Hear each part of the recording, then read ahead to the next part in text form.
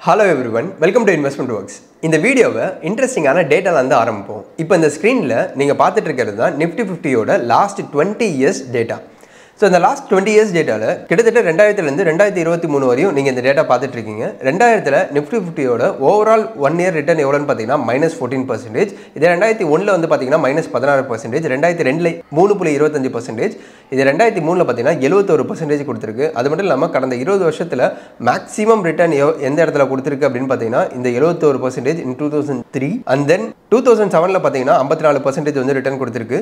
அது மட்டும் இல்லாமல் டூ தௌசண்ட் நைனில் வந்து பார்த்தீங்கன்னா எழுபத்தஞ்சு பர்சன்டேஜ் வந்து நிஃப்டி ஃபிஃப்டி ரிட்டர்ன் கொடுத்துருக்கு. அதுக்கப்புறமா ஹையஸ்ட் ரிட்டர்ன் வந்து பார்த்தீங்க அப்படின்னா முப்பத்தோரு பர்சன்டேஜ் வந்து கொடுத்துருக்கு. எப்போன்னு பார்த்தீங்கன்னா ரெண்டாயிரத்தி பதினாலு.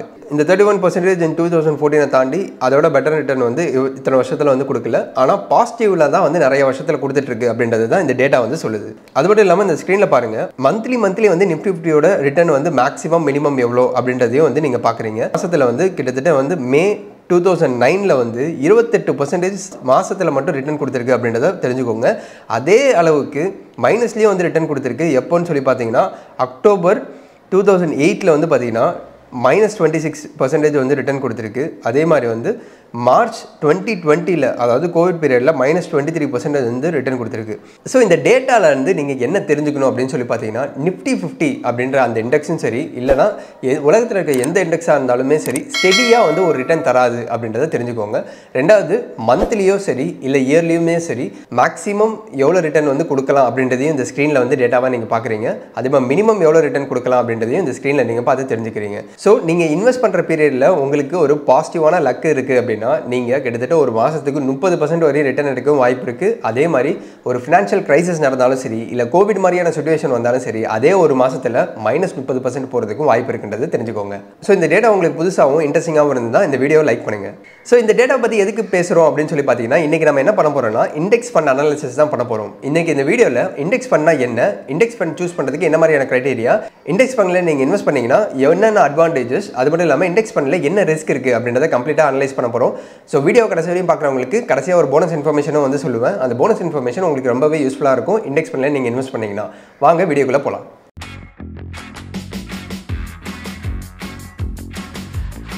ஸோ ஃபஸ்ட்டு வந்து இண்டெக்ஸ்னா என்ன அப்படின்னு சொல்லி பார்ப்போம். Index is nothing but collection of stocks so நீங்கள் இண்டெக்ஸ் இன்னும் எப்போ எந்த பேரை கேட்டாலுமே வந்து அதுக்கு பின்னாடி வந்து ஒரு குரூப் ஆஃப் ஸ்டாக்ஸ் இருக்குது அப்படின்றத தெரிஞ்சுக்கோங்க. எப்படி அந்த குரூப் ஆஃப் ஸ்டாக்ஸ் எடுக்கிறாங்க அப்படின்னு பார்க்கறதுக்கு முன்னாடி எதுக்காக இந்த இண்டெக்ஸ் வந்து கிரியேட் பண்ணப்பட்டது அப்படின்றத ஃபஸ்ட்டு வந்து தெரிஞ்சுப்போம். ஸோ இந்த இண்டெக்ஸ் வந்து எதை ரெப்ரசென்ட் பண்ணுது அப்படின்னா இந்தியன் ஸ்டாக் மார்க்கெட்டை வந்து ரெப்ரசென்ட் பண்ணும். இந்தியன் ஸ்டாக் மார்க்கெட்டில் பிஎஸ்சியில் கிட்டத்தட்ட வந்து ஐயாயிரக்கும் மேற்பட்ட ஸ்டாக்ஸ் வந்து இருக்குது என்எஸ்சியில் கிட்டத்தட்ட ஆயிரத்துக்கும் மேற்பட்ட ஸ்டாக்ஸ் இருக்குது அது எல்லாத்தையுமே வந்து கம்ப்ளீட்டாக வந்து நம்மளால் ட்ராக் பண்ண முடியாது. அதுக்கு தான் வந்து சர்டன் டைப்ஸ் ஆஃப் இண்டெக்ஸஸ் வந்து வச்சுட்டு அதை ட்ராக் பண்ணுறாங்க for example large cap stocks எல்லாமே வந்து நீங்கள் வந்து ட்ராக் பண்ணணும்னு நினச்சிங்கன்னா நீங்கள் நிஃப்டி ஃபிஃப்டியை வந்து ட்ராக் பண்ணுற மாதிரி இருக்கும். அதே வந்து நீங்கள் பிஎஸ்சியில் ட்ராக் பண்ணுற மாதிரி இருந்தால் சென்சஸை வந்து ட்ராக் பண்ணுற மாதிரி இருக்கும். அதில் வந்து தேர்ட்டி ஃபண்ட்ஸ் இருக்கும் நிஃப்டி ஃபிஃப்டியில் ஃபிஃப்டி ஃபண்ட்ஸ் இருக்கும். ஸோ நீங்கள் லார்ஜ் கேப் ஃபண்ட்ஸை வந்து ட்ராக் பண்ணணும் அப்படின்னா நீங்கள் நிஃப்டி ஃபிஃப்டியை ட்ராக் பண்ணணுன்றதை தெரிஞ்சுக்கோங்க. இதே வந்து ஸ்மால் கேப் அப்படின்னா அதுக்கு ஒரு இண்டெக்ஸ் இருக்குது மிட் கேப் அப்படின்னா அதுக்கு ஒரு இண்டெக்ஸ் இருக்குது இதே ஃபார்மா ஃபினான்ஸு பேங்கிங் ஐடி எல்லாத்துக்குமே தனித்தனி இண்டெக்ஸ் இருக்குது ஸோ இதில் எல்லாமே வந்து அண்டர்லேயிங்கில் ஒரு பத்து ஸ்டாக்கோ இல்லை பதினஞ்சு ஸ்டாக்கோ இருக்கும் அப்படின்றத தெரிஞ்சுக்கோங்க. ஸோ இப்போ பேசிக்காக நிஃப்டி ஃபிஃப்டி கீழே ஒரு ஐம்பது ஸ்டாக் இருக்குது அப்படின்றத புரிஞ்சுக்கோங்க. ஓகே இப்போ எனக்கு இண்டெக்ஸ் தான் தெரிஞ்சிருச்சு. இப்போ நிஃப்டி ஃபிஃப்டினா என்னன்னு தெரிஞ்சிருச்சு. இப்போ இண்டெக்ஸ் ஃபண்டுனா என்ன அப்படின்னா நீங்கள் இந்த இண்டெக்ஸில் மியூச்சுவல் ஃபண்ட்ஸ் மூலிமா இன்வெஸ்ட் பண்ணுவீங்க இல்லையா? அதை வந்து இண்டெக்ஸ் ஃபண்ட்ஸ் அப்படின்ற மாதிரி சொல்லுவாங்க. நீங்கள் இண்டெக்ஸ் ஃபண்ட்ஸில் இன்வெஸ்ட் பண்ணீங்க அப்படின்னா அந்த காசு எல்லாமே அண்டர்லைனில் இருக்கக்கூடிய சென்சஸ்க்கோ இல்லை நிஃப்டி ஃபிஃப்டிக்கோ இல்லை அப்படின்னா நீங்கள் மிட் கேப்பில் இன்வெஸ்ட் பண்ணீங்க அப்படின்னா அந்த மிட் கேப் இண்டெக்ஸுக்கு தான் வந்து போய் சேரும். ஸோ அதுக்கு பின்னாடி இருக்கிற ஸ்டாக்ஸில் இன்வெஸ்ட் பண்ணிவிட்டு அதுலேருந்து வரக்கூடிய ரிட்டர்னை தான் உங்களுக்கு மியூச்சுவல் ஃபண்ட்ஸில் ரிட்டர்னாக கிடைக்குது அப்படின்றத தெரிஞ்சுக்கோங்க. சரி ஓகே நல்லது. இப்போ எனக்கு வந்து இண்டெக்ஸ் ஃபண்ட்னா என்னன்னு தெரிஞ்சிருச்சு. நான் இப்போ இந்த இண்டெக்ஸ் ஃபண்டில் இன்வெஸ்ட் பண்ணுறதுக்கு முன்னாடி எத்தனை டைப் ஆஃப் இண்டெக்ஸ் ஃபண்ட் இருக்குது எந்த இண்டெக்ஸ் ஃபண்டை நான் சூஸ் பண்ணுறது அப்படின்றத இப்போ நம்ம தெரிஞ்சுப்போம். ஸோ இந்த விஷயம் உங்களுக்கு ஏற்கனவே தெரிஞ்சிருந்தாலுமே இப்போ நீங்கள் புதுசாக ஒரு இண்டெக்ஸ் ஃபண்ட் இன்வெஸ்ட் பண்ண போறீங்கன்னா ஆல்ரெடி ஏகப்பட்ட இண்டெக்ஸ் ஃபண்ட் இருக்குது கிட்டத்தட்ட வந்து நாற்பதுக்கும் மேற்பட்ட இண்டெக்ஸ் ஃபண்ட் மட்டும் இருக்குது இதில் நீங்கள் எதில் இன்வெஸ்ட் பண்ணுறது அப்படின்றத க்ரைட்டீரியா வச்சு எப்படி சூஸ் பண்ணுறதுன்றத இப்போ பார்ப்போம். இண்டெக்ஸ் ஃபண்ட் சூஸ் பண்ணுறது ஃபர்ஸ்ட் க்ரைட்டீரியா வந்து பார்த்தீங்கன்னா brand and number of years so இதுக்கு என்ன அர்த்தம் அப்படின்னு பார்த்தீங்கன்னா ஏகப்பட்ட இண்டெக்ஸ் ஃபண்ட்ஸ் இருக்குது நீங்கள் உங்களுக்கு கண்ணுக்கு எதிரில் தெரியக்கூடிய பல பிராண்ட்ஸ் இருக்கும் இல்லையா? ஃபார் எக்ஸாம்பிள் கொட்டாக் பேங்கோ இல்லை எஸ்டிஎஃப்சியோ இல்லை ஆக்சஸோ இல்லை அப்படின்னா ஐசிஐசிஐ இந்த மாதிரி மாதிரியான உங்களுக்கு தெரிஞ்சு ஃபெமிலியராக இருக்கக்கூடிய பிராண்ட்ஸை நீங்கள் ஃபஸ்ட்டு சூஸ் பண்ணுங்கள் அது மட்டும் இல்லாமல் அந்த இண்டெக்ஸ் ஃபண்ட் எத்தனை வருஷமாக இருக்குது அப்படின்றத பாருங்கள் ரெண்டாவது கிரைட்டீரியா வந்து பார்த்தீங்கன்னா ஏயுஎம் ஏயுஎம் வந்து பார்த்தீங்கன்னா மினிமம் ஃபைவ் ஹண்ட்ரட் டு தௌசண்ட்க்கு மேலே இருக்கக்கூடிய ஒரு ஃபண்டாக வந்து சூஸ் பண்ணுங்கள் இந்த ஏயுஎம்க்கு அர்த்தம் என்னன்னு பார்த்தீங்கன்னா நீங்கள் ஒரு ஃபண்டை வந்து ரொம்ப நாள் இன்வெஸ்ட் பண்ணுறீங்க அப்படின்னா இந்த ஏயுஎம் வந்து அதிகமாக இருக்கும். எவ்வளோ இன்வெஸ்ட் பண்ணுறீங்கிறத பொறுத்து. ஃபார் எக்ஸாம்பிள் ரொம்ப ஓல்டஸ்ட்டாக இருக்கக்கூடிய ஒரு இண்டெக்ஸ் ஃபண்ட் தான் வந்து UTI Nifty fifty index fund இதில் எவ்வளோ வந்து அசன்ட் அண்டர் மேனேஜ்மெண்ட் அதாவது ஏயுஎம் வச்சிருக்காங்கன்னு பார்த்தீங்கன்னா கிட்டத்தட்ட பதினோராயிரம் கோடிக்கு மேலே வந்து வச்சிருக்காங்க.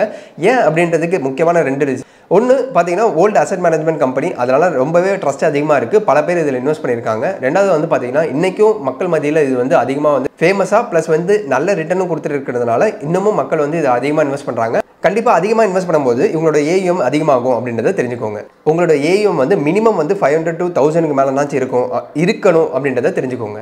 ஸோ நீங்கள் ஒரு இண்டெக்ஸ் ஃபண்டை சூஸ் பண்ணுறீங்களா உங்களோட AM minimum five hundred two தௌசண்ட்னாச்சும் இருக்கணும் அப்படின்றத தெரிஞ்சுக்கோங்க.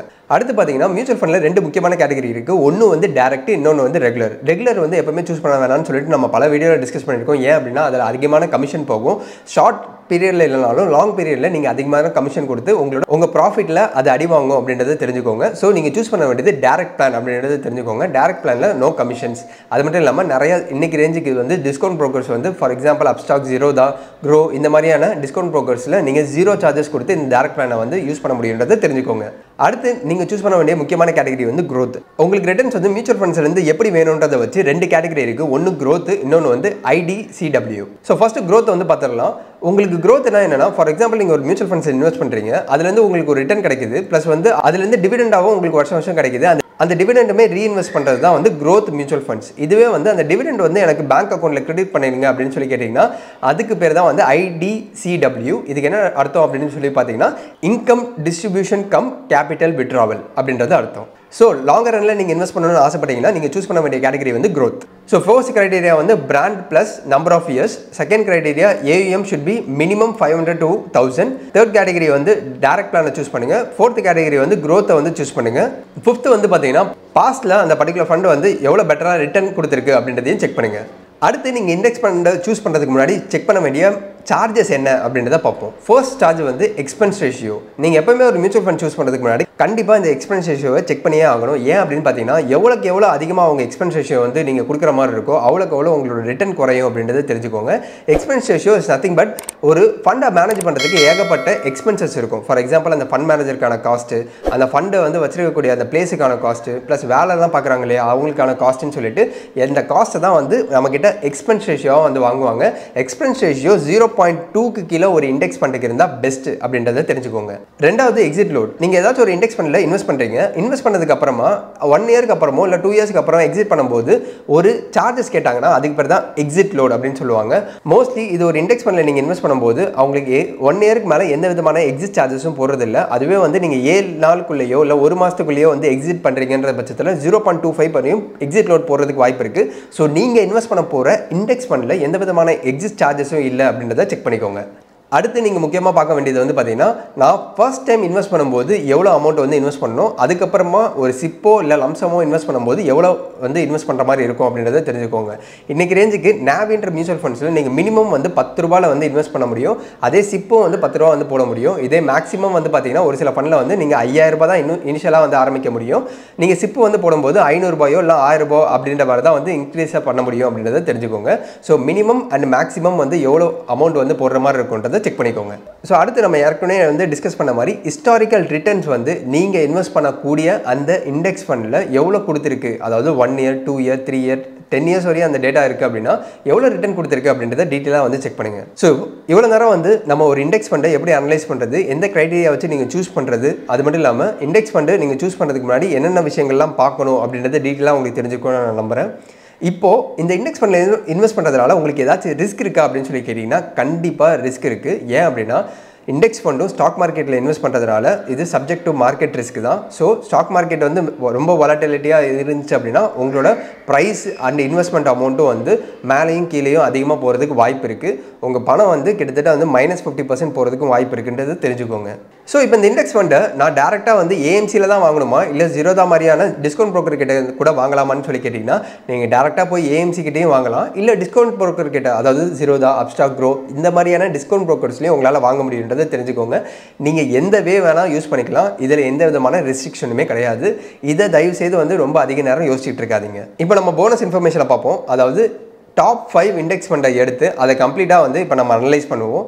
இப்போ இந்த ஸ்க்ரீனில் நீங்கள் பார்த்துட்டு இருக்கிறது தான் top five index fund so first வந்து யூடிஐ ரெண்டாவது வந்து நிப்பான் தேர்டு வந்து எஸ்டிஎஃப்சி ஃபோர்த் வந்து பார்த்தீங்கன்னா பந்தன் பேங்க் அடுத்து வந்து நாபி இதுக்கு நடுவில் வந்து ஆக்சிஸ் நிஃப்டி ஃபிஃப்டி வந்து வச்சிருக்கேன். ஏன் அப்படின்னா எந்த ஒரு இண்டெக்ஸ் ஃபண்டை நீங்கள் வாங்கக்கூடாது அப்படின்ற ஒரு எக்ஸாம்பிளுக்காக தான் அதை வச்சிருக்கேன். நம்ம அதையும் டீட்டெயிலாக வந்து பார்ப்போம். நம்ம ஃபர்ஸ்ட் க்ரைட்டீரியா படி ஃபஸ்ட்டு வந்து பிராண்டிங் வந்து பார்க்கணும் அப்படின்ற மாதிரி சொல்லியிருந்தேன். இந்த நிப்பானும் சரி எஸ்டிஎஃப்சியும் சரி யூடிஐயும் சரி பந்தனும் சரி இது எல்லாமே வந்து பார்த்தீங்கன்னா இந்த நாலு ஃபண்டுமே கிட்டத்தட்ட வந்து மோர் தென் ஃபைவ் இயர்ஸாக வந்து இருக்காங்க. இதுலேயும் வந்து ஒரு சில ஃபண்டெல்லாம் வந்து டென் இயர்ஸாக இருக்குது அதாவது எஸ்டிஎஃப்சி யூடிஐ நிப்பான்லாம் வந்து டென் இயர்ஸாக இருக்குன்னு தெரிஞ்சுக்கோங்க. ஸோ அதுபடி நம்ம ஃபஸ்ட்டு கரெக்டாக தான் எடுத்திருக்கோம். ரெண்டாவது வந்து பார்த்தீங்கன்னா ஏயுஎம் ஏயுஎம் நம்ம பேசினபடி வந்து ஐநூறுக்கும் மேலே தான் வந்து இந்த பர்டிகுலர் இண்டெக்ஸ் ஃபண்டு இருக்கணும். இங்கே பார்த்தீங்கன்னா எல்லாமே வந்து நம்ம சூஸ் பண்ண அஞ்சு ஃபண்டுமே வந்து ஐநூறுக்கு மேலே தான் இருக்குது இந்த ஆக்சஸை வந்து விட்டுருங்க. அடுத்து பார்த்தீங்கன்னா expense ratio expense ratio zero point டூக்கு கீழே இருக்கணும் அப்படின்ற மாதிரி சொல்லியிருந்தோம். ஆல்மோஸ்ட் எல்லாமே வந்து ஜீரோ பாயிண்ட் டூ தான். நேவிலாம் வந்து பார்த்தீங்கன்னா zero point zero six percentage இண்டஸ்ட்ரியிலேயே ரொம்ப ரொம்ப கம்மியாக எக்ஸ்பென்ஸ் ரேஷியோ இருக்கக்கூடிய one and only index fund என்னன்னு பார்த்தீங்கன்னா நாபி Nifty fifty index fund just ஒரு எஜுகேஷன் பர்பஸ்க்காக தான் வந்து நம்ம டிஸ்கஸ் பண்ணிகிட்டு இருக்கோம். அடுத்து பார்த்தீங்கன்னா எக்ஸிட் லோடு மோஸ்ட்லி எந்த ஒரு இண்டெக்ஸ் ஃபண்டுக்குமே எக்ஸிட் லோடே வந்து கிடையாது. ரெண்டே ரெண்டு ஃபண்டை தவிர ஒரு ஃபண்டு வந்து பார்த்தீங்கன்னா நிப்பான் இன்னொன்று வந்து எஸ்டிஎஃப்சி ஸோ நிப்பான் வந்து என்ன சொல்கிறாங்கன்னா நீங்கள் இன்வெஸ்ட் பண்ணிவிட்டு ஏழே நாளில் எடுத்துட்டிங்கன்னா zero point two five percentage வந்து நாங்கள் எக்ஸிட் லோடாக வந்து எடுத்துப்போம்.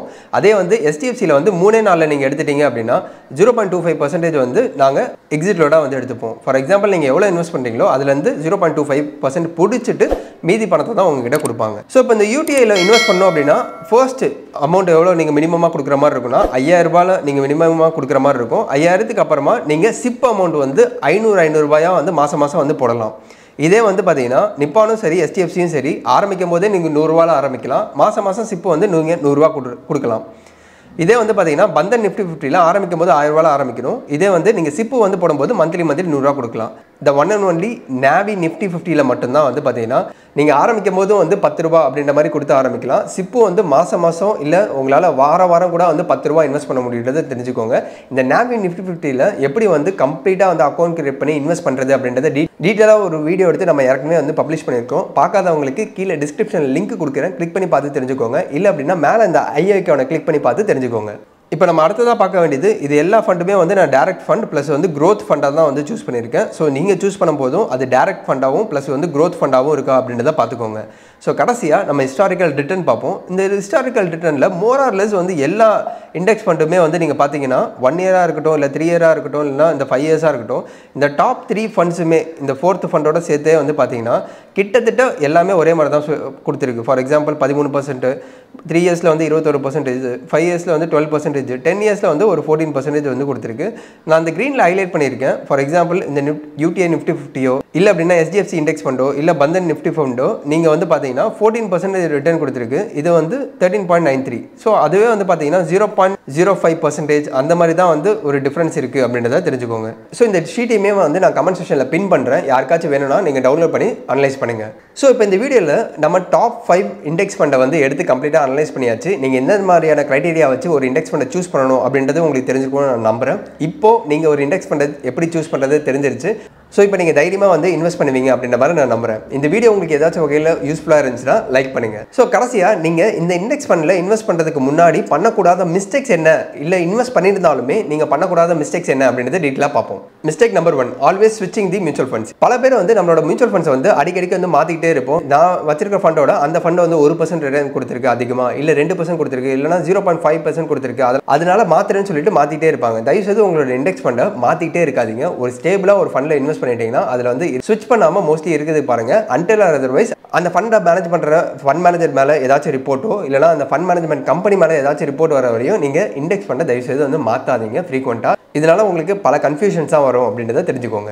ரெண்டாவது முக்கியமான தப்பு என்ன பண்ணுவாங்க அப்படின்னு பார்த்தீங்கன்னா ஒரு இண்டெக்ஸ் ஃபண்ட் சூஸ் பண்ணுறதுக்கு முன்னாடி அந்த expense ratio zero point one இருக்கும். அதனால இன்னொரு ஒரு ஃபண்ட் வருது. இப்போ நாவி வந்திருக்கு. அதனால நான் ஃபுல்லாகவே எடுத்து அதை விட்ரா பண்ணிட்டு நான் நாவியில் போட போகிறேன் ஜீரோ பாயிண்ட் சிக்ஸ் தான் இருக்குன்னு நினச்சிங்கன்னா அடுத்த ஒன் ஆர் டூ இயர்ஸில் நாவியுமே வந்து ஜீரோ பாயிண்ட் ஒன் இல்லை ஜீரோ பாயிண்ட் ஒன் ஃபைவ் இல்லை டூ கூட வரதுக்கு வாய்ப்பு இருக்குது ஸோ இந்த எக்ஸ்பென்ஸ் ரேஷியோ வந்து மாறிக்கிட்டே இருக்கும். ஆனால் இண்டெக்ஸ் ஃபண்டுக்கு ஸ்டாண்டர்டாக வந்து செபி என்ன சொல்லியிருக்காங்கன்னு பார்த்தீங்கன்னா ஜீரோ பாயிண்ட் டூ தான் மேக்ஸிமம் எக்ஸ்பென்ஸ் ரேஷியோவாக இருக்கணும் அப்படின்ற மாதிரி சொல்லியிருக்காங்க.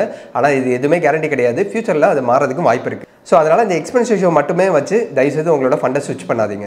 மூணாவது எந்த இண்டெக்ஸ் ஃபண்டில் இன்வெஸ்ட் பண்ணுறதுன்னு சொல்லிட்டு ரொம்ப நாளாக அனலைஸ் பண்ணிகிட்டே இருக்காதீங்க. ஒரு அனலைசிஸ் வந்து பண்ணீங்க அப்படின்னா யாராச்சும் ஒரு ஃபண்ட் அட்வைசர்கிட்டயோ இல்லை அப்படின்னா உங்களோட ஓன் டிசிஷனை சீக்கிரமாக எடுக்க ட்ரை பண்ணுங்கள் இன்வெஸ்டிங்கில் இருக்கக்கூடிய மெயினான விஷயமே என்னென்னா யார் எவ்வளோ சீக்கிரமாக ஸ்டார்ட் பண்ணுறாங்களோ அவங்களுக்கு தான் அதிகமான ப்ராஃபிட் அப்படின்றத தெரிஞ்சுக்கோங்க.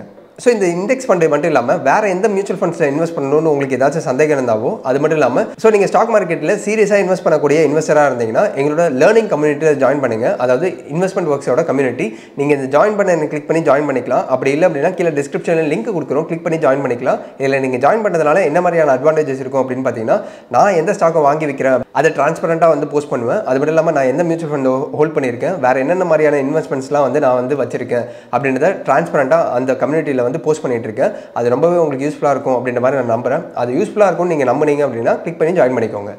இந்த வீடியோ உங்களுக்கு யூஸ்ஃபுல்லாக இருந்துச்சுன்னா லைக் பண்ணுங்கள் எங்கள் சேனலை சப்ஸ்கிரைப் பண்ணாமல் இருந்தால் சப்ஸ்கிரைப் பண்ணிக்கோங்க. அடுத்த இன்ட்ரெஸ்டிங்கான வீடியோவில் சந்திப்போம். பாய்